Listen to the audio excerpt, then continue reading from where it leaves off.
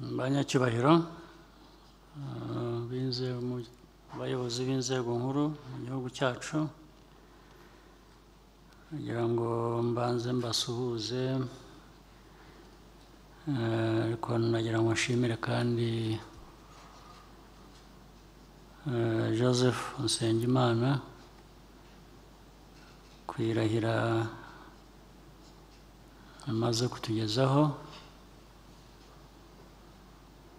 Mu magambo make eh, kurahira bivuze ko eh, yemeye kandi yiteguye eh, gukorera igihugu cye muri izi nshingano zijyanye n'ibireba uburezi mu gihugu cyacu.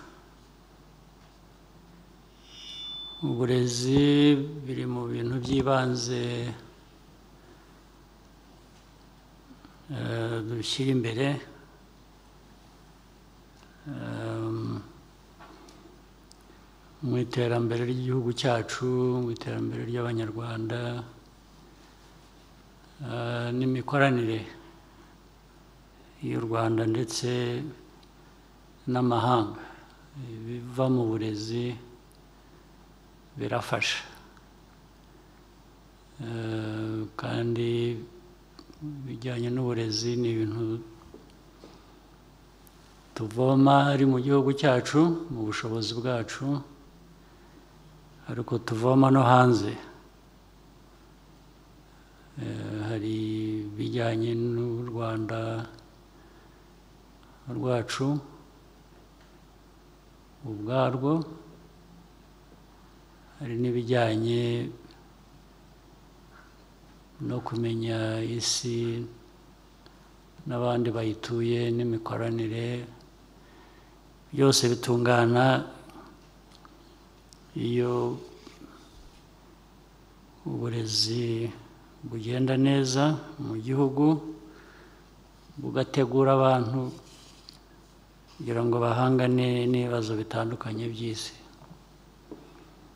Ariko noneho banashingiraho biyubake mu majyambere n'ibindi. Eh, uburezi bwacu rero bumaze gutera intambwe eh, mu busanzwe ariko ntabwo burageraho twifuza cyangwa se bushimishije bitewe n'ibyo tubona hirya no hino inshingano rero Nsengimana amaze kurahirira nagira ngo mumenyeshe ko ntabwo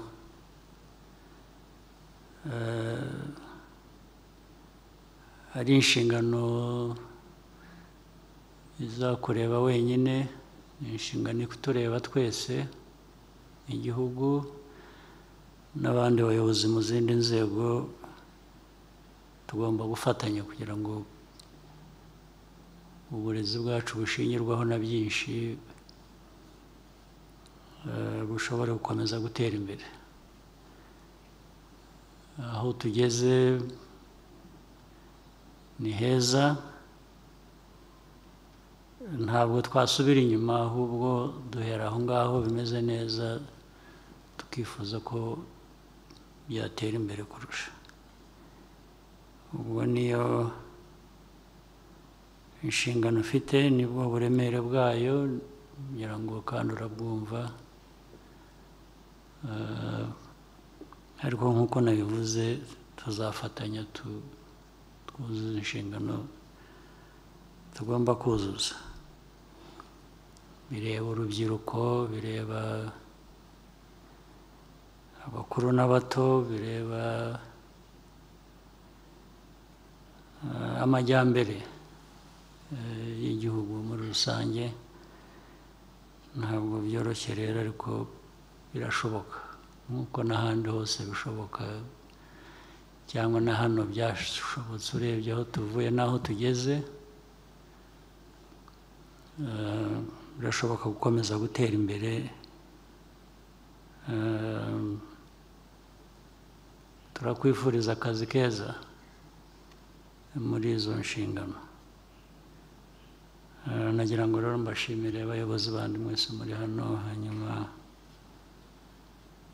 eh, dukomeza twubake dushingira ku burezi cyangwa se n'izindi nshingano abandi hirya no hino bagiye barahirira. Murakoze.